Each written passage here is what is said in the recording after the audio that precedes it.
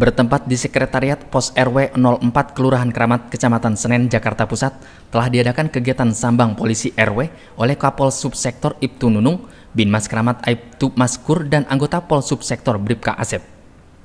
Dalam kegiatan tersebut, Binmas berterima kasih atas kerjasama yang baik antara Ketua RW, RT, dan FKDM setempat yang telah membantu memelihara Kamtipmas di wilayahnya masing-masing.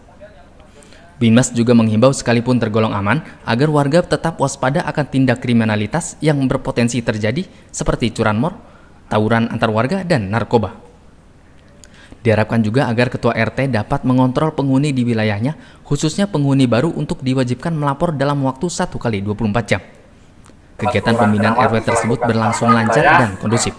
Tatap muka dengan Ketua RT, Ketua RW, LMK, FKDM, dan Pondar Kamtipmas khususnya memberikan himbauan Katimas karena pada akhir-akhir ini rawan curanmor dan rawan gangguan Katimas lainnya sehingga kita menghibur kepada tokoh masyarakat setempat untuk bersinergi menjaga wilayahnya masing-masing agar tercipta wilayah yang aman dan kondusif.